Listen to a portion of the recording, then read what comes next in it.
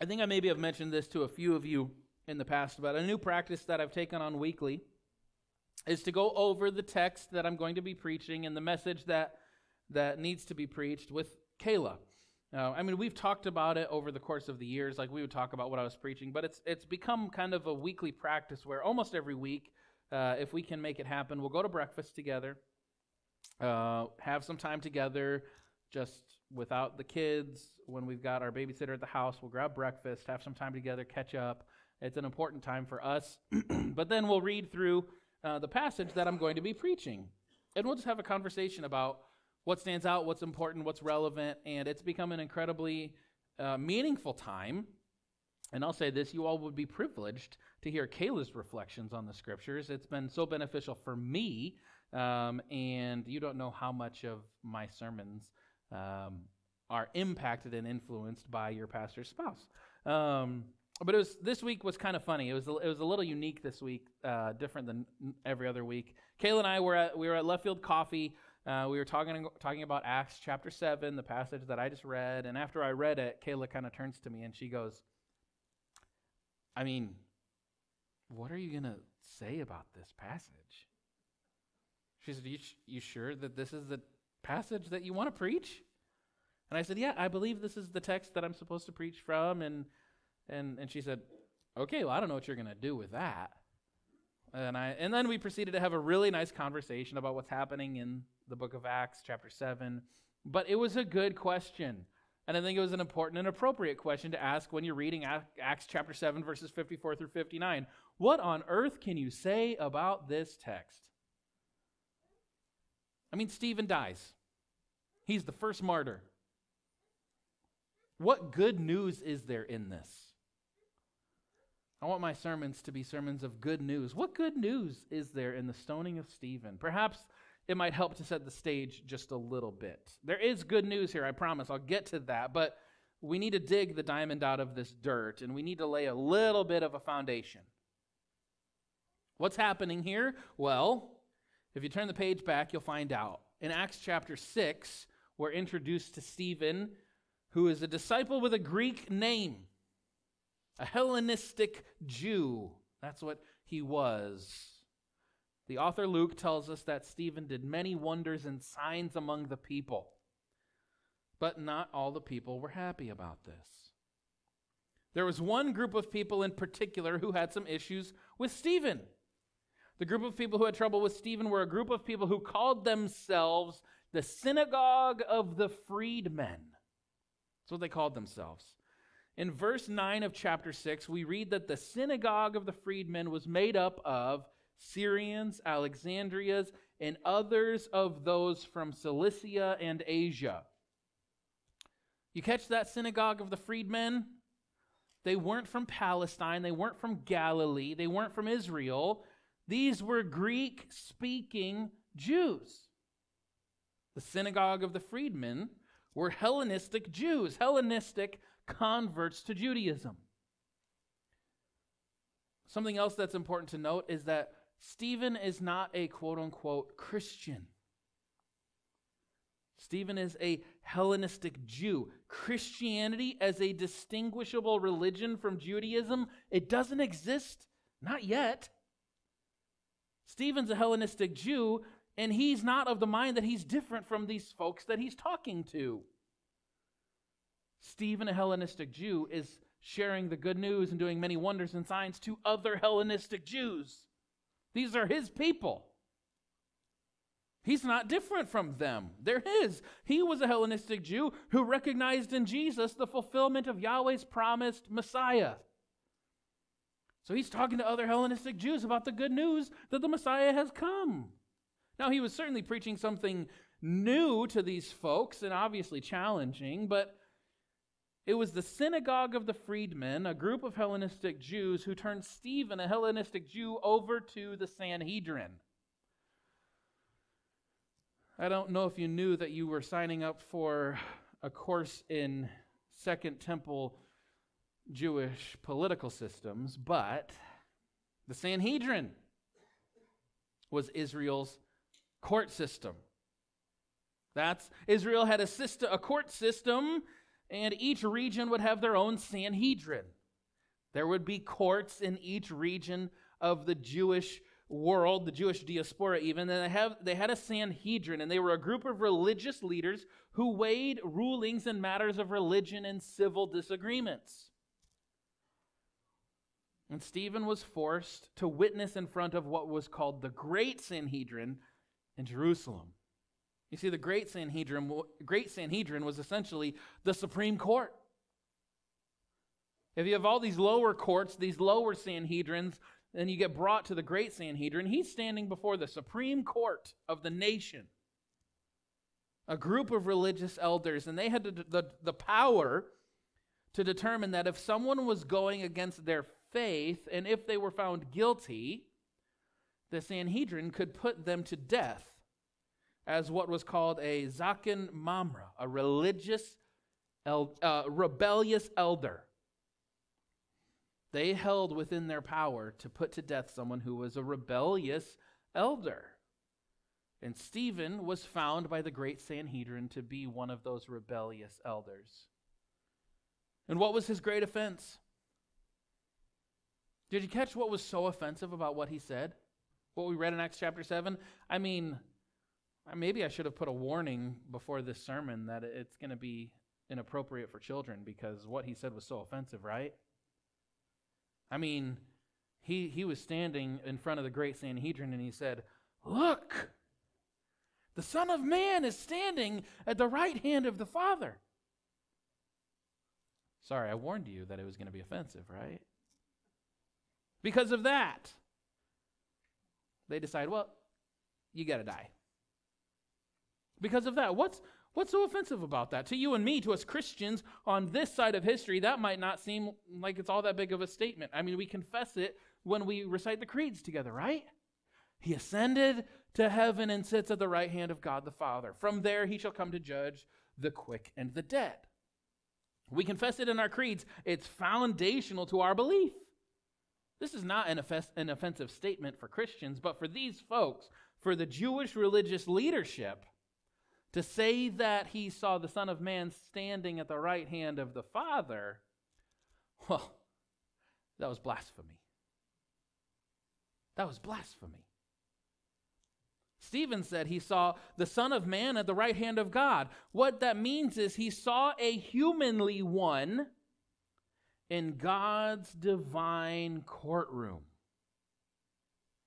In front of the highest Jewish court, he claims that he can see the divine courtroom.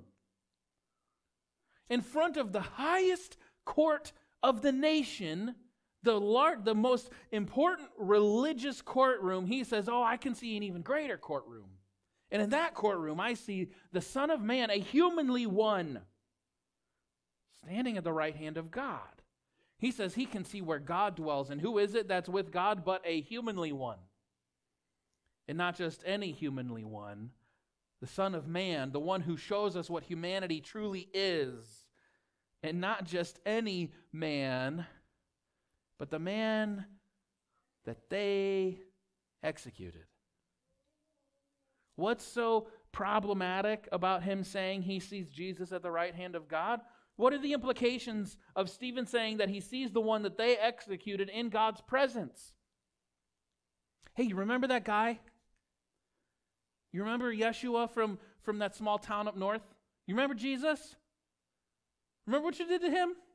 Oh, guess where he is now? What does that say about what where they are then in relationship to God? On what side of God does that put them? The one you executed is on the right is at the right hand of the Father. What does that say about their posture towards God? This religious leadership. And you want to know what's so crazy about all of this? Who was it that turned Stephen in? Who turned Stephen into the, into the Sanhedrin? Who brought false witnesses against him? Who was it that had such a problem with Stephen? Was it those Greek pagans who wanted to kill Stephen?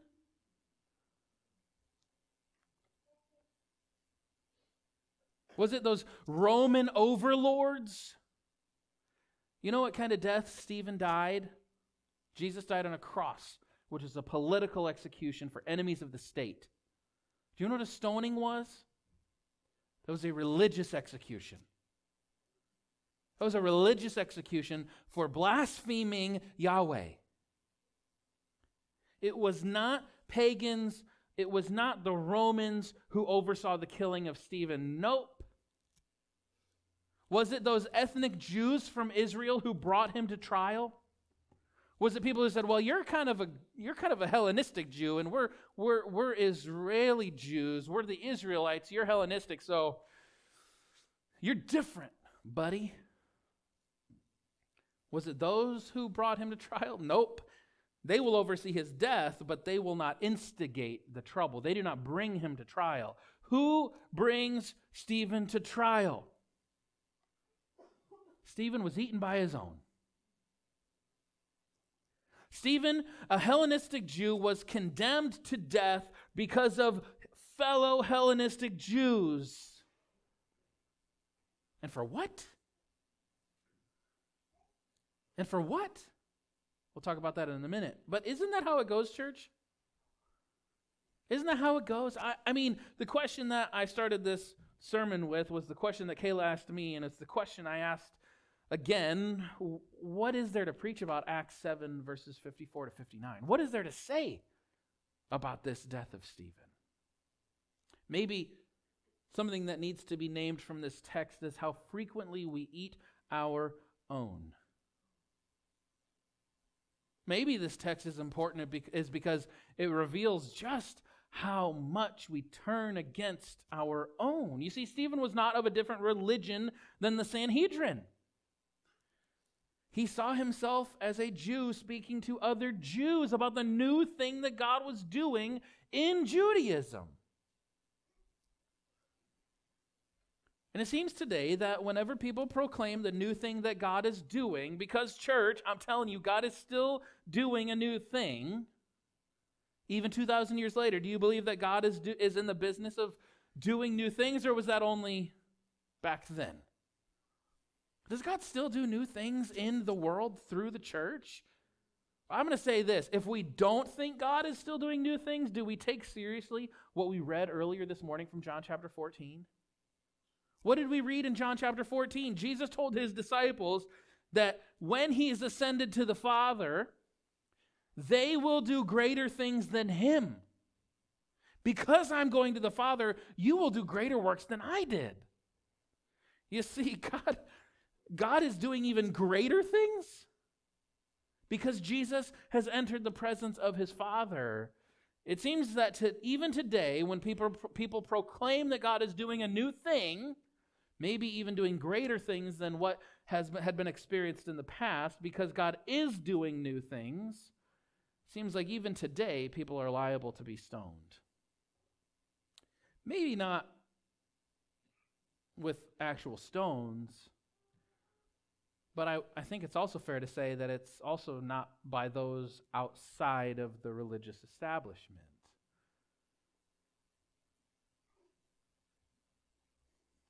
You know the, one of the greatest persecutors of the church has been throughout human history, throughout Christian history, collectively throughout the history of the church? Do you know who has persecuted the church? The church.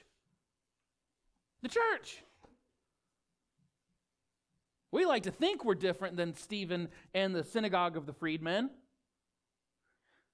But the greatest persecution of the reformers during the 15th and 16th century it didn't come from those Germanic pagans, it came from the church, Catholics. The author of the Belgic Confession, which was written in 1561, was executed six years later in 1567 because he converted to what they called evangelicalism, what would be called the Protestant faith. That was not unique to the author of the Belgic Confession. Protestants were being persecuted by Catholics. Okay, so then what about the Anabaptists? Anybody know Anabaptist history here? Who, who persecuted the Anabaptists during the 16th century? Did somebody say everybody? Yes. The church. Other Protestants. John Calvin himself did not end or stop or oppose the execution of an Anabaptist theologian, Michael Servetus, for questioning the validity of the Trinity. No, I'm not saying you should question the validity of the Trinity, especially not during the Reformation era. That was not a good time to question the Trinity. But maybe let's bring it a, maybe a little bit a little bit more contemporary. Remember back to elementary American history. Do you remember learning American history? Why did those Puritans come to America? What did they want?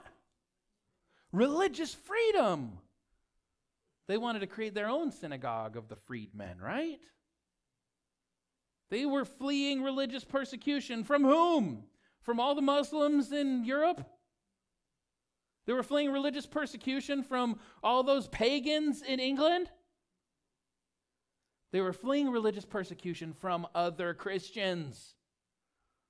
If you want, you could have a real fun conversation about the history of Christian infighting in Ireland.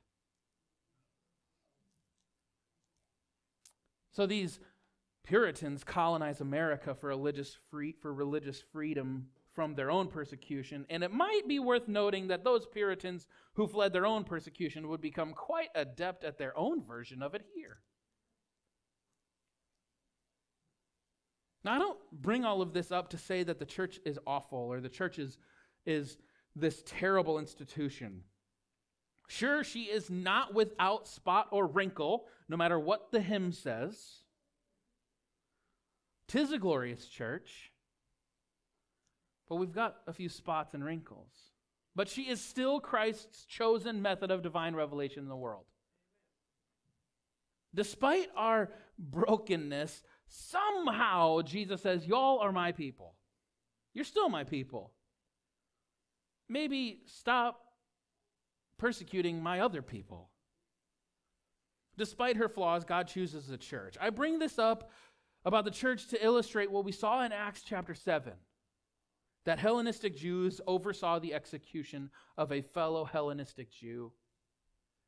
Because I think it illustrates that we reserve our deepest vitriol, we reserve our greatest criticism, and we reserve our most violent acts for those who threaten us the most, who, more often than not, are very much like us.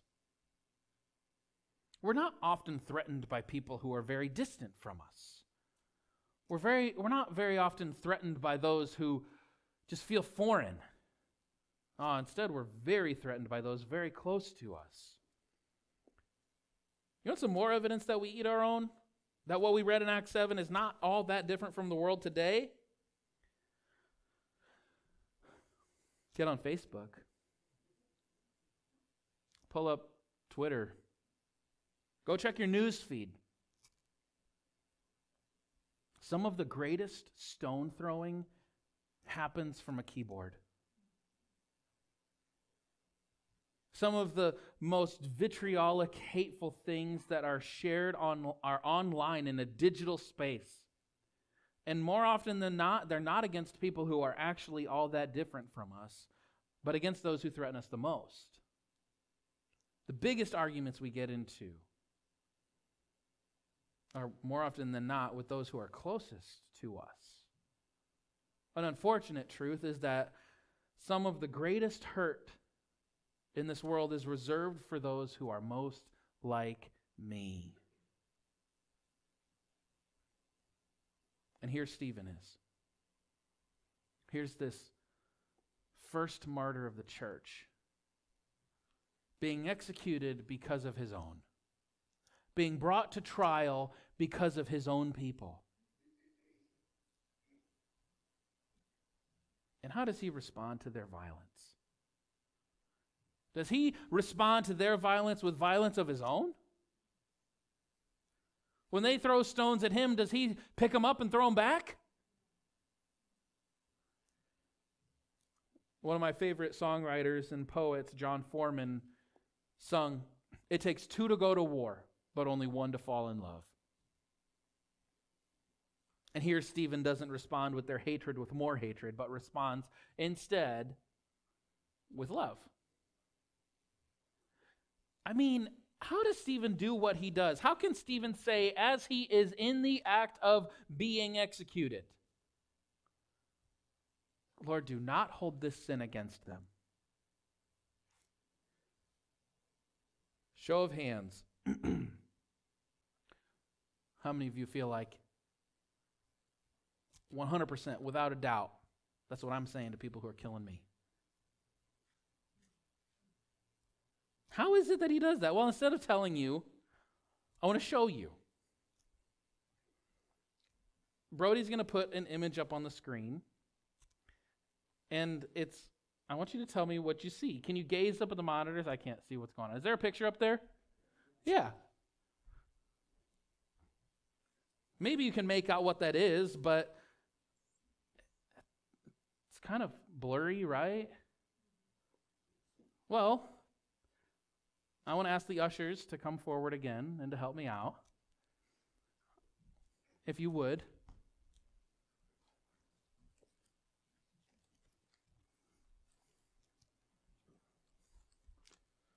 Would you please distribute these to the congregation? This is one of the most sacred acts I've ever done in corporate worship.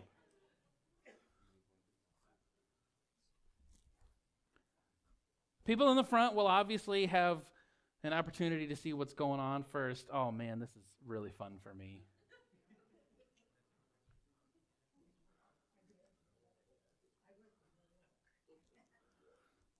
If you get sick from this, don't uh, put them on. and uh, this is really silly. Uh, we're going to do something really silly right now. We bought a whole, we bought 100 3D glasses. It's like we're back going back to the movies in the 70s. Can you make out what's there? When everyone has a pair, I want you to look up at the monitors and tell me what you see. If you can, I'll be honest, we bought cheap 3D glasses, so they might not be as effective as the ones you get at the movie theater.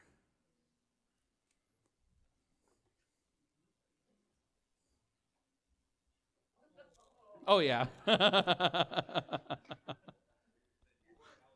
yeah. All right, they're, com- they're making their way, their way back. Oh, yeah, you turn the lights off. That might help. Um, I know this is silly. We're almost all the way there with all the glasses. Can, is something popping out maybe a little bit better than it was before? Maybe not, but it's a fun thing to do anyway. These are yours to keep, by the way. You can keep these. Little souvenir. You can keep the glasses. All right, the last few rows are going to get there. Once we get the last row filled out, Brody, why don't you go to the next image? What do you see here? Can you see what's in this first image? Oh, hey, there's another one. Great. I mean, you can see what that is, but when you put the glasses on, what happens? Kind of pops out a little bit, right?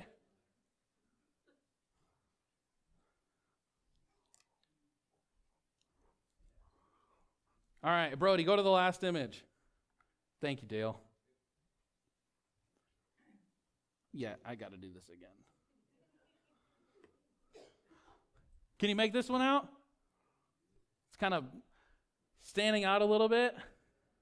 So why couldn't why would why couldn't you make out what those images were prior to getting these three glasses? You were looking at the same thing, right? It's harder to see what's going on there, right? What changed? Does the picture change? Did the image shift when you put your glasses on?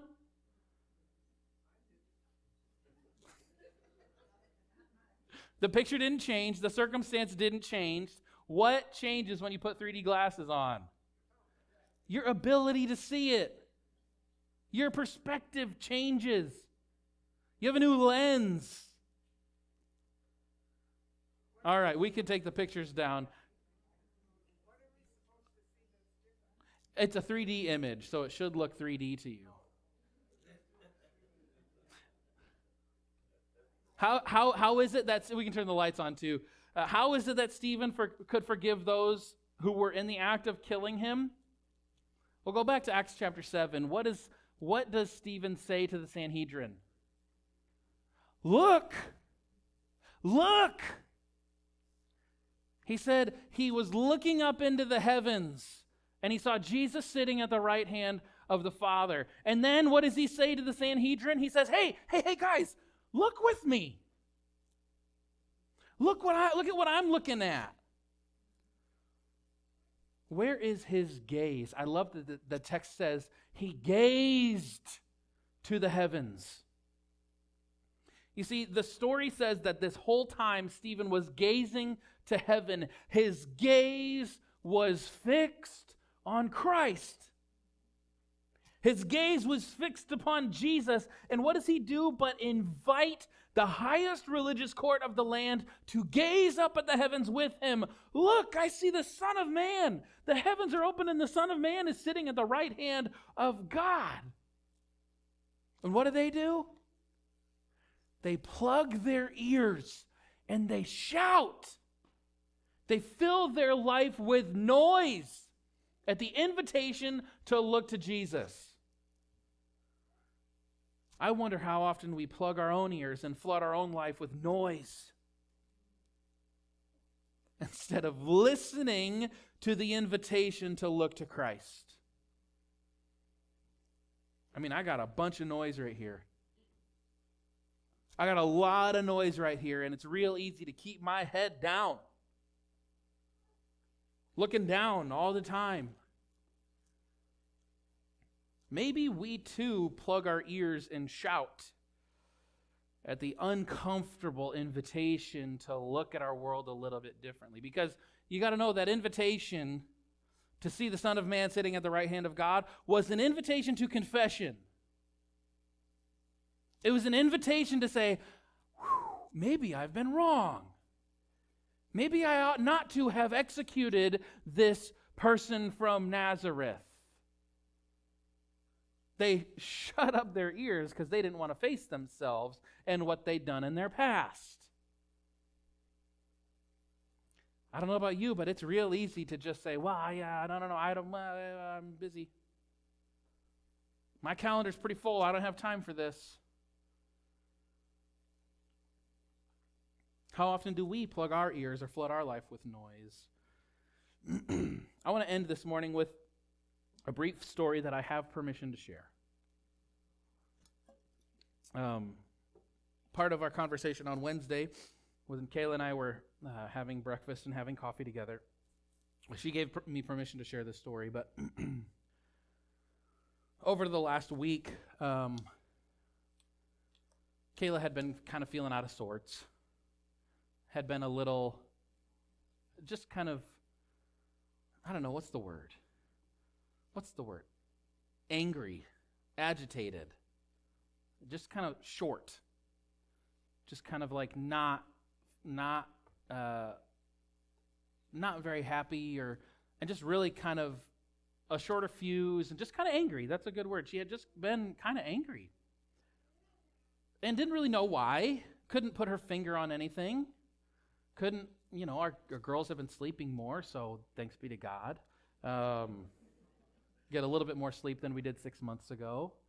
Um, just kind of was like off, just just off. You know, you ever have those seasons where you're just a little off and you're a little short and you're just kind of upset and angry. She she she had been kind of feeling that for a few days, and Tuesday night we were in bed praying like we do every night before we go to sleep.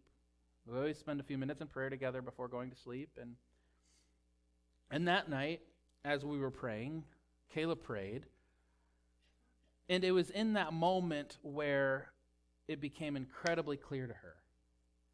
As she was praying, she was, she was praying for, for God to be present with her and to be present with what she had been feeling. And there was almost a, a sense of confession in that, that she said, Lord, I'm not looking forward to this experience that's coming up. I'm not excited about this thing that's happening in my life in a few days. There was an event that Kayla and I had uh, that she was really not looking forward to. The circumstance was not something she was anticipating and did not want to be a part of that. And so, as she was praying, she said, Lord, I, I realize that I've been looking at that moment so much in a negative anticipation that it has been affecting the ways in which I'm interacting with my family, those I love, that Kayla had been keeping her eyes down, looking at this unanticipated, undesirable circumstance that was in front of her. And when she looked to Christ in prayer, she got clarity about her own spirit. And she said it felt like the Lord lifted this burden off of her and provided clarity to her.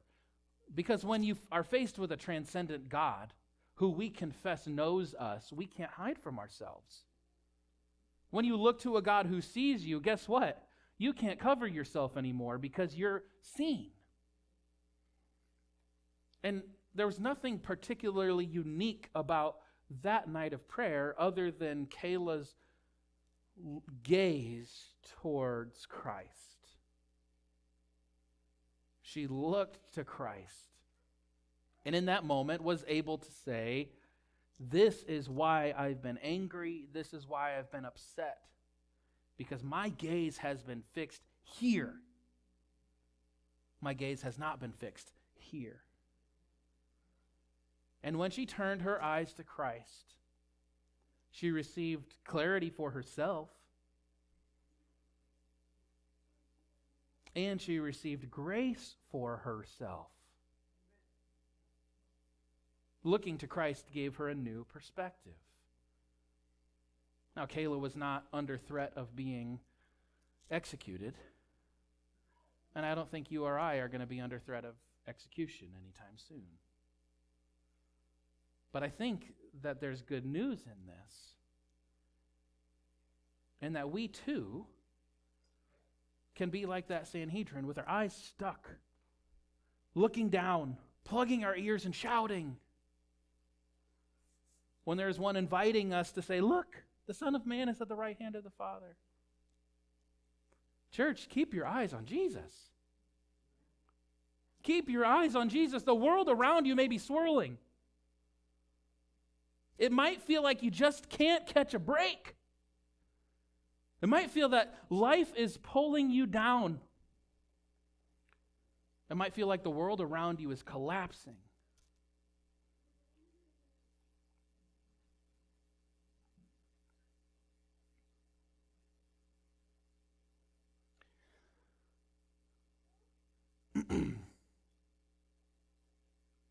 I wasn't anticipating sharing this, um, and I usually, I, will say, I don't think I ever have uh, wanted to point out visitors in our midst, but I'm incredibly blessed to have a classmate of mine and his family with us today. Pablo is a peer of mine at Calvin Seminary. Uh, we've studied together, we've taken a class together, we interact frequently. Pablo and his family are here from Ukraine. Pablo came February 23rd. of 2022. Russia invaded Ukraine on what date? 15 minutes after you landed. February 23rd, 2022. we might feel like the world around us is collapsing, but for some folks in this world, it really is. All that they know and all that they've experienced has collapsed and I've prayed with Pablo for his extended family in Ukraine under threat of bomb. And yet, whenever we interact, whenever we talk, whenever we have conversations at the seminary together, I am struck by the joy, by the joy that I experience in my classmate and in my brother in Christ just kind of this deep well of joy. Certainly, there's grief, but there's an in- incredible amount of hope. And, and, and that's the word I have to use is joy. Keep your eyes on Jesus, church. The world around you might crumble. I love the line we sung a few moments ago I've still got joy in chaos. How is it that when everything around us collapses, sometimes because it's out of our control, sometimes because we have brought that calamity upon ourselves, how is it that we can say, I've got joy in chaos? The world around me might crumble, but I have a peace, I have joy. There is a hope still, even though the world around me is falling to pieces. And I don't want to diminish what we experience as chaos and calamity in our own lives either. Because I don't know about you, but we are being formed to fill our ears and to fill our life with noise in the face of the chaos. The algorithms are written that way to keep you coming back to noisy things. But if you keep your eyes on Christ, if you keep your gaze upon the resurrected one who's sitting at the right hand of the Father, chances are you'll gain some perspective. Now, it might not change your circumstance. It might not make things different in your world. Kayla still had to go through that experience she wasn't anticipating. But she could do it with gratitude and grace because her eyes were fixed upon Christ. It might not change the circumstance. Stephen was still stoned to death, after all, church. He was still murdered. How could he say, Do not hold this sin against them? How could he say that? He could say that because his gaze was fixed upon Christ. by keeping your gaze fixed upon the resurrected and ascended one, that is how we don't lose ourselves. That is how we keep ourselves in the midst of a broken and breaking world. What is there to preach in this passage? What good news is there in Acts chapter 7, verses 54 through 59? The good news is that you can keep your gaze fixed upon Christ. The good news is that whatever's happening around us, we can look to Christ and things might come into focus a bit. The division and the distraction of the brokenness around you might lose its grip upon your spirit. And you might just, you might not lose yourself in the chaos and in the violence you might just be saved from becoming a member of the stone throwing community. You want the good news? The good news is to keep your eyes on Christ. That is the good news of Jesus Christ for us today.